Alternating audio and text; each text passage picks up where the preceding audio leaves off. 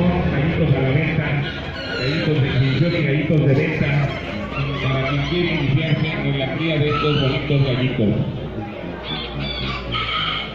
Y aquí también junto a la mesa de las 5 se encuentra el restaurante del evento.